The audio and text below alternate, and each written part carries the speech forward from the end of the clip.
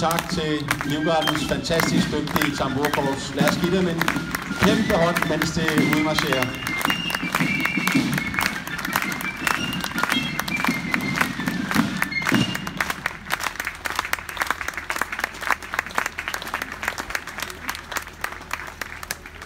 Og som de fleste nok bemærkede, så kræver det, at man både kan eksercere og spille, og det kunne de jo rigtig, rigtig flot. Fantastisk øh, show. Det var virkelig godt. Nu øh, bliver der så en lidt lang pause,